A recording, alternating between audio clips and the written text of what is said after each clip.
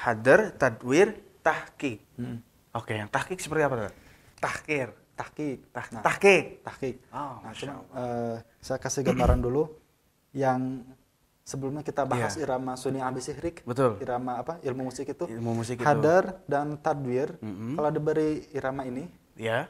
tempo ini menggunakan irama ini menggunakan tempo ini Hmm. disebut dengan murotal.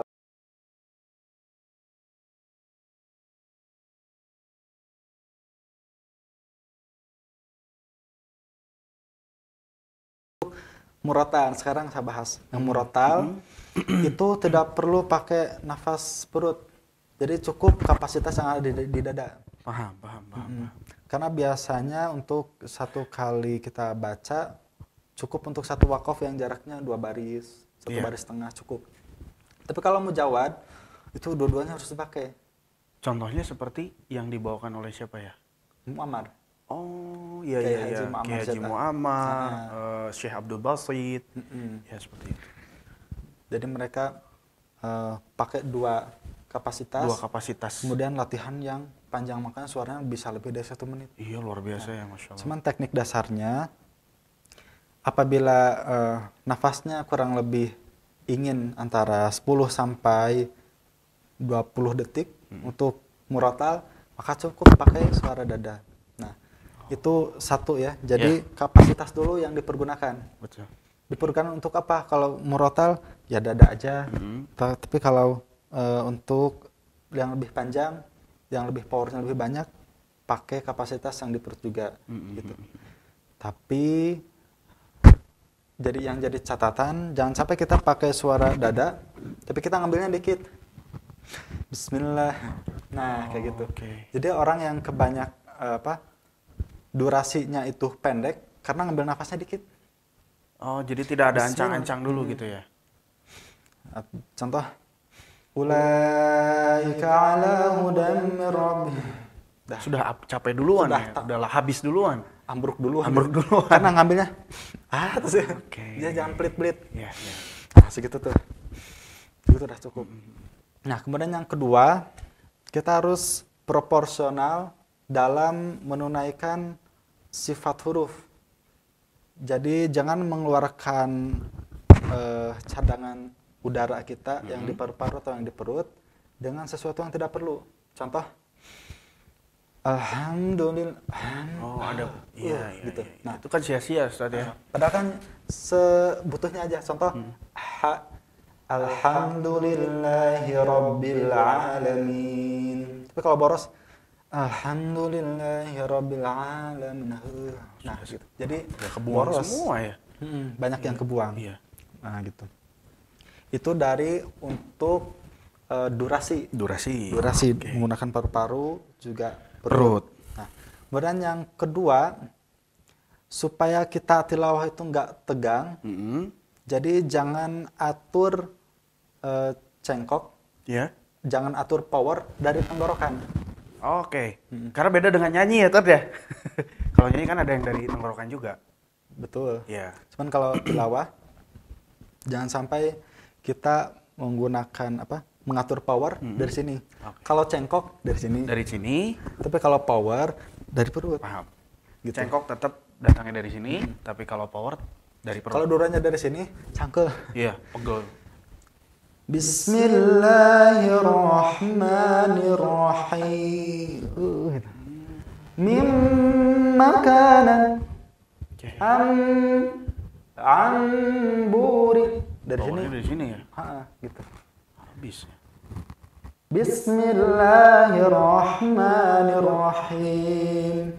Alhamdulillahi rabbil alamin. Capek gitu. Iya. Nah, tapi dari perut. Jadi kalau dari perut s- eh, mau nada rendah, sedang atau, Atau tinggi. tinggi. pun santai gitu. Kayak misalnya Rasid kita lihat ini mau nada rendah, mau nada tinggi, Sama ya? sama aja. Iya. gitu. Relax. bukan Relax, enjoy gitu ya. Enggak. Iya. Nah, kayak gitu. Misal Rasid kan misal Allahu Akbar. فأقبل بعضهم على بعض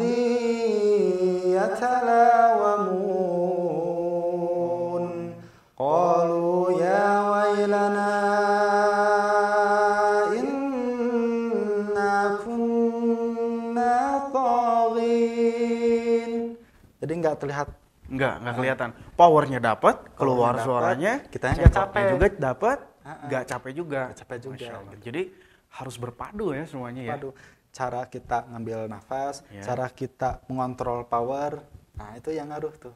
Okay. Gitu. Jadi supaya panjang, supaya suaranya plong keluar, mm -hmm. jadi nggak ditahan Alhamdulillahi rabbil alamin. Oh itu tertahan. Tertahan gitu.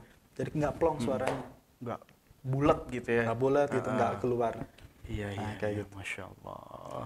Nah, itu teknik sebelum kita nanti belajar belajar murotal, Ya. pelajari dulu teknik pernapasan, pernapasan. juga teknik mengontrol suara. Oke. Powernya itu penting segimana, didapatnya dari mana, nah itu penting untuk dipelajari. Ya. Artinya tadi dasarnya ada dua Ustadz ya. Pernapasan ada dada dan juga ada Ada perut. Nah ini untuk mengontrol power ini di perut, eh, ngambil napasnya panjang pendeknya bisa diatur di awal dan juga jangan diberatkan di sini ya Ustadz ya di tenggorokan karena nanti Jadi cukup cengkok capek, yang dari cukup tenggorokan. ya. Power di sini. Masya Allah. Mm-mm. Ini luar biasa sahabat sekalian. Luas sekali ternyata ilmu dalam mempelajari Al-Quran. Ini baru sedikit dari sekian banyak. Artinya apa? Quran ini maha luas ya. Artinya maha luas juga ilmu untuk mempelajarinya. Tapi tetap kita harus belajar sesuai dengan pakemnya.